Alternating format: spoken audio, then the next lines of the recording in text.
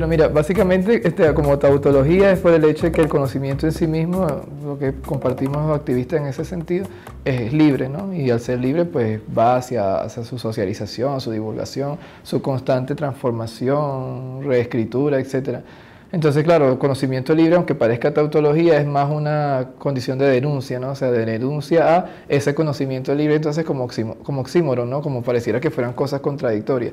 Porque entonces es donde entra todo este discurso de la propiedad intelectual, ¿no? Entonces que hay que proteger las obras del intelecto humano y entonces, claro, conocimiento y libertad o conocimiento libre como que pareciera que son cosas disonantes. Pero si lo vemos en esta posición activista, esta posición militante, o sea, conocimiento libre es una tautología, pero es porque lo que te dice es eso, o sea, cómo el conocimiento ha sido secuestrado por los llamados derechos de autor, por las patentes, por el tema del diseño industrial, o sea, por todo eso de la propiedad industrial, que al final termina beneficiando mucho más a las corporaciones transnacionales o a las entidades privadas que a las propias entidades públicas o a las comunidades como tal.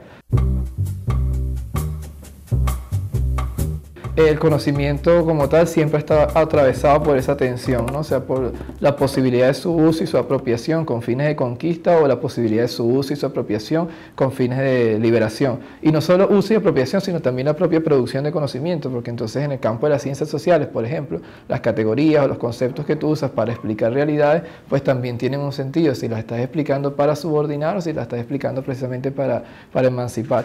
Pero concretamente, o esta discusión de conocimiento libre se inserta como en una crítica a lo que llaman capitalismo cognitivo, que de una manera como mucho más aséptica es lo que otras personas llaman sociedad información, sociedad conocimiento, pero se les olvida que es una sociedad capitalista. Entonces, bueno, en ese sentido, pues el conocimiento libre viene a decir como, no sé, pudiéramos hablar de procesos alrededor de la década de los 70, 80, 90, esta revolución científico-tecnológica de la segunda mitad del siglo XX, bueno, como en estos procesos hubo una aceleración de los derechos de propiedad intelectual, un recrudecimiento, y entonces allí, pues todo lo que pudiera ser el enriquecimiento cognitivo y espiritual de la humanidad, pues va siendo como que cada vez más vulnerado. Y si antes era solo un asunto de patentes y derechos de autor, entonces ya empieza a ubicar campos de la educación, de la alimentación, de la salud, entonces te vas dando cuenta que la cosa ya se sale mucho más allá de una discusión entre abogados y entre tecnicismos jurídicos y empieza a ser toda una interpelación a la sociedad capitalista en su conjunto.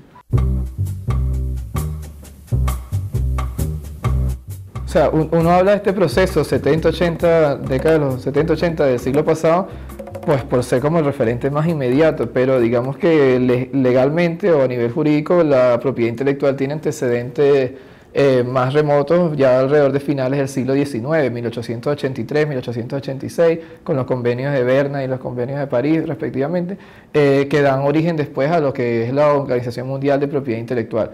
¿No? Entonces, bueno, eh, la Organización Mundial de Propiedad Intelectual ya es siglo XX, pero este proceso está, y si tú echas la mirada más atrás, entonces tú te consigues que los antecedentes del llamado derecho de autor, o el copyright, lo consigues ya para 1710 o un poquito más. O sea, que de alguna manera sociedad de conocimiento o el uso de conocimiento y información siempre ha estado. Solo que, bueno, en este proceso de desarrollo capitalista, en este siglo XX, pues es donde entra como que o se hace todavía más notorio, entonces se empieza a hablar de un cuarto sector de la economía que es todo el sector de conocimiento. Entonces ahí se concentran capitales en grandes laboratorios, institutos de investigación, se concentran inversiones en investigación, desarrollo e innovación, pero al mismo tiempo estas inversiones también se dirigen al sector militar porque hay que garantizar territorios, recursos, para seguir dándole dinamismo a ese modelo específico de ciencia y tecnología. Entonces digamos que todos esos elementos más recientes son como los que prenden las alarmas con respecto al tema, pero el conocimiento como algo inherente a toda sociedad humana siempre ha estado presente, inclusive desde tiempos mucho más remotos.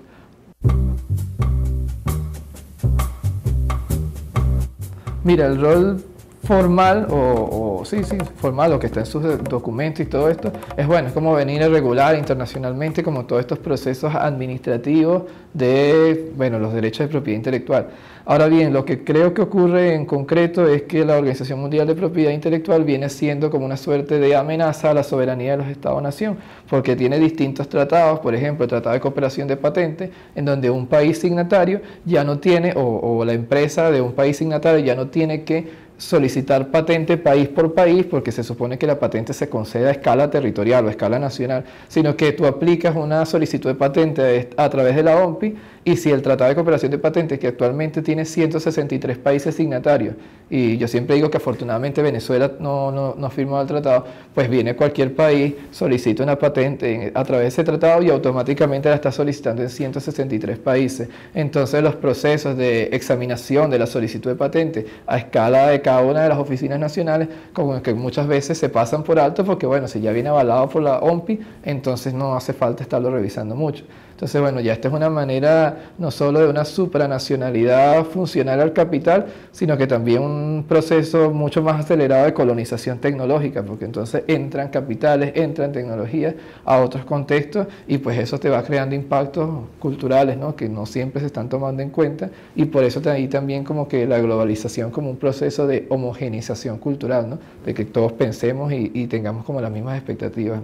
Entonces, bueno, más o menos eso como que sería la función velada de la propiedad intelectual. Otro tratado es el de derecho sustantivo de patente que está en proyecto. Y está en proyecto porque precisamente hay lo que llamarían los marxistas contradicciones interimperialistas, ¿no? O sea, entre la Unión Europea, Estados Unidos y Japón, y como entonces allí no se ponen de acuerdo para ver qué tanto puedes patentar. Porque de concretarse el proyecto en ese sentido distópico, pues tú entonces pudieras empezar a patentar el aire, el agua, o sea, un montón de cosas que muchas legislaciones hoy en día lo impiden. Este, de pronto por cuestiones de tiempo y espacio voy a concentrarme en dos nada más que son como las más centrales. Pero la propiedad intelectual también incluye pues, el tema del diseño industrial, eh, las marcas y lo que llaman indicaciones geográficas o marcas de origen. ¿no? Entonces pudiéramos pensar en ese caso, por ejemplo, el queso Roquefort, ¿no? Porque entonces está asociado a una provincia de Francia donde se produce un tipo de queso y entonces es como un indicador de calidad. Entonces me voy a centrar en patentes y en derecho, y los mal llamados derechos de autor. Entonces los mal llamados derechos de autor es porque la traducción literal del copyright no es derecho de autor, sino derecho de copia.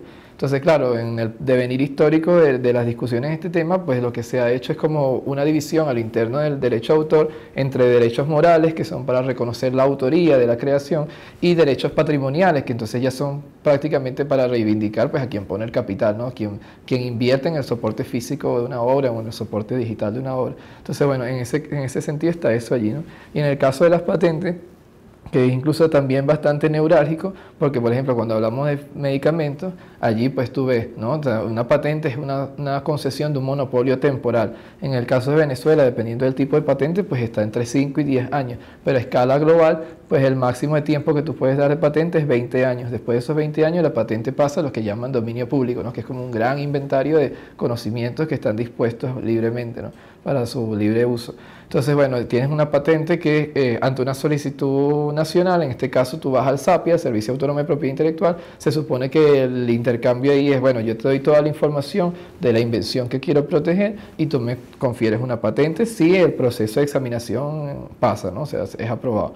Entonces, bueno, después que pasen esos 20 años, tienes esa información allí. Eso no quiere decir que no las puedas consultar antes, la puedes consultar antes, pero no puedes reproducir la misma invención hasta que ese tiempo no pase. Entonces ya ahí tienes un bloqueo. Y muchas empresas a nivel internacional pues patentan invenciones y tecnologías no para usarlas ni para desarrollarlas industrialmente, sino precisamente como bloqueo para que otros agentes económicos no puedan tener acceso a ellas. Y al mismo tiempo hay entonces otras empresas que son las que llaman troll de patentes o entidades no productoras que son entonces las que están como a la casa de empresas en quiebra y entonces van y le compran su stock de patentes, que es como en última instancia lo, último que te queda para vender y medio oxigenarte económicamente. Entonces van, lo compran y a partir de ahí empiezan como que a cazar gente que esté usando esa patente o que esté teniendo, este, esté violando ese derecho. Entonces, bueno, ya tú ves ahí como ese monopolio también tiene una dimensión rentística, ¿no? O sea, estas, estos trolls de patente no invirtieron en desarrollo e investigación, lo que hicieron fue comprar una patente ya desarrollada por otras personas y a partir de ahí empiezan como a generar ganancias, ¿no? Como que tienes un apartamento, lo alquilas y entonces empiezas a, bueno, aquí haces lo mismo, compras una patente y sobre la patente a través de regalías y esto, empiezas pues a generar más, más, más cuestiones. Entonces, claro, lo delicado allí es que en el caso de los medicamentos, al vencerse el plazo, y si tú no tienes la información transparente, si tú no tienes la información clara, sino que son cuestiones muy crípticas o imprecisas, después tú no puedes reproducir el medicamento. Entonces, además de la deuda social que ya implica el tema del monopolio temporal, entonces tienes una todavía más larga, que es que entonces ese medicamento no puede ser replicado, por ejemplo, por el Estado para producir genérico. ¿no? Que, dicho sea de paso, el genérico no es un medicamento de mala calidad, ¿no? O sea, bueno, ya eso responde a otros procesos, pero el genérico no es otra cosa que un medicamento que se ha hecho de un principio activo que ya está liberado. Pasa que este discurso capitalista del, conocimiento, pues te dice, no, eso es de mala calidad, porque además del medicamento, del principio activo, pues viene la marca, ¿no? que es como lo importante. Entonces están esos dos aspectos. En el caso del derecho a autor, volviendo a esto último, tiene que ver más con el ámbito de la cultura, la educación. Entonces, si tienes una obra o un texto en particular, pues este no pasa a dominio público sino hasta 50, 60 o hasta 100 años después de la muerte del creador. Pero quien realmente obtiene las mayores ganancias de esto, en el caso de un libro, pues es la casa editorial. O en el caso de un artista, un cantante, pues es la casa disquera.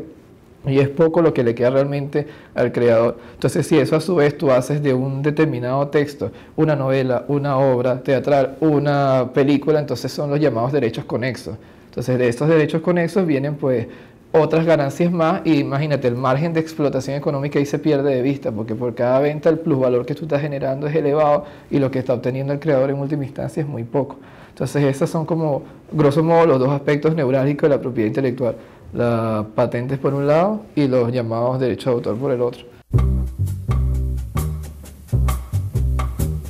Venezuela tiene una posición bastante laxa en materia de propiedad intelectual. ¿no? Eh, de hecho, la ley de propiedad industrial data del 50 y pico, la del derecho de autor es un poco más reciente, pero de allí y acá no han venido como procesos de reforma o de repensarse esas leyes. Claro, por lo menos en el caso de la ley de propiedad industrial, habría que tener cuidado con esa, ese afán de querer reformar por querer reformar, porque mm, por decir que es una ley del cincuenta y pico, inclusive creo que en un contexto pre o post perejimenista, eh, ahí tienes este, eh, artículos que son inclusive de avanzada para cómo está el estado de la legislación en patentes en la actualidad. Es decir, nuestra ley de propiedad industrial prohíbe o no permite el patentamiento de alimentos y bebidas, por ejemplo, cosa que sí está ocurriendo en, otro, en otros aspectos. Tiene un lapso de protección corto de 5 a 10 años versus otros que son de 20. Entonces, hay algunos elementos que hay que tener que revisar con, con cuidado. Pero en todo caso, como decíamos también en ese taller, pues la propiedad intelectual es como una geografía jurídica en la que es como fácil perderse. ¿no? Entonces uno identifica grosso modo esta propiedad industrial, derecho de autor, pero entonces tienes la ley del libro y van apareciendo otros instrumentos jurídicos que de alguna u otra manera están más o menos relacionados, ¿no? Entonces tienes una ley de cultura, entonces por ahí también van como que permeándose este, otros elementos. A nivel internacional, pues como te decía, eh, Venezuela afortunadamente no, no ha suscrito la mayoría de estos tratados de la OMPI, ¿no? Y entonces eso de alguna manera, aun cuando se está en ese proceso de reflexión, de, de aprovechar esa, esa, situación para generar márgenes de soberanía e independencia mayores, pues está eso allí. Eh, Venezuela sí, sí, suscribe los acuerdos de derecho de propiedad intelectual relacionados al comercio, los llamados ADPIC, que son de la Organización Mundial de Comercio. Entonces, claro, ahí sí tiene ciertas presiones pero en el caso con la OMPI, pues no, no está amenazado por esa supranacionalidad. Entonces, bueno, ahí tienes unos márgenes interesantes de maniobra que es bueno irlos reflexionando, sobre todo cuando el presidente Maduro hace unos dos años o hace un año atrás, pues llamó una revolución de conocimiento. Entonces, una revolución de conocimiento no es solamente pues, el otorgamiento o la atención de una, de una deuda social en concreta dando canaimas, sino eh, pensarse también todo el artefacto jurídico, ¿no? Que está allí y sobre todo a nivel regional y a nivel internacional. Si lo que se quiere entonces en este sentido es independencia científica y tecnológica, en última instancia independencia de saberes, porque dicho sea de paso, el conocimiento científico es uno solo de tantos conocimientos que existen. ¿no? Entonces, una revolución de conocimiento también tiene que ser pensar políticas públicas, ya no solo en ciencia y tecnología, sino en materia de conocimientos en general y a nivel de distintas escalas de análisis también.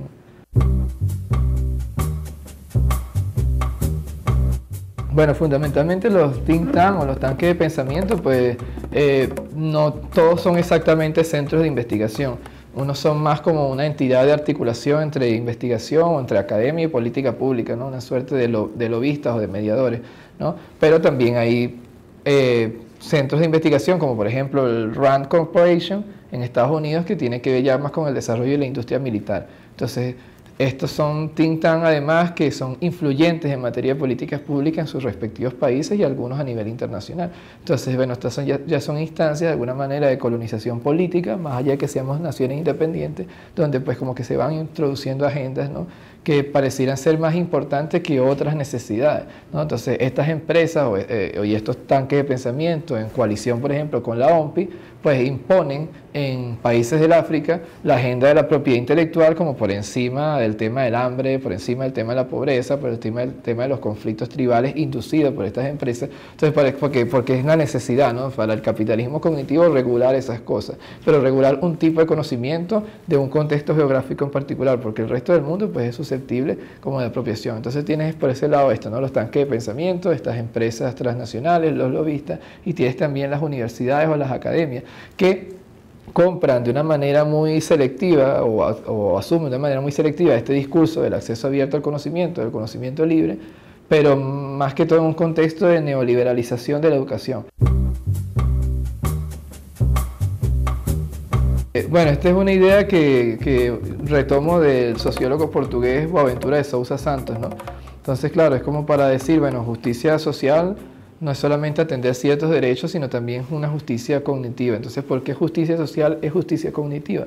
Porque si hablamos de una crisis del capitalismo, y si hablamos que esa crisis del capitalismo tiene múltiples factores, uno de ellos es la crisis ecológica, ¿no? Pero que en última instancia es una crisis civilizatoria, ¿no? una crisis del modelo occidental de sociedad, de política, de economía, de cultura, etc., pues el conocimiento que nos llevó a esta sociedad que está en crisis civilizatoria, pues no está eximido de una revisión crítica. O sea, decirlo en pocas palabras, crisis civilizatoria es crisis de conocimiento también. Y entonces, al ser crisis de conocimiento, entonces los procesos de justicia social por otros mundos posibles son procesos también de justicia cognitiva. Y vuelvo entonces a lo anterior, no existe únicamente ciencia y tecnología, o sea, también existen otros saberes u otros conocimientos igualmente válidos que el de la ciencia y la tecnología. Recientemente aquí se, se aprobó por el Instituto de Patrimonio Cultural, pues el tema de la semilla de papa, ¿no? Entonces, el saber que hay detrás de eso, ¿no? Entonces, bueno, esos son aspectos hay que visibilizar. Entonces, claro, muchas veces a nosotros y a nosotras nos cuesta ver, ¿no? Digo, a la sociedad en general, qué alternativas hay al capitalismo cognitivo. Creo que es precisamente porque se ha reducido el presente a un solo cuadrito de una hoja cuadriculada, un cuaderno de matemáticas, ¿no? O sea, en vez de ver toda la pluralidad, de ver todo ese pluriverso, pues nos quedamos con el cuadrito nada más, ¿no?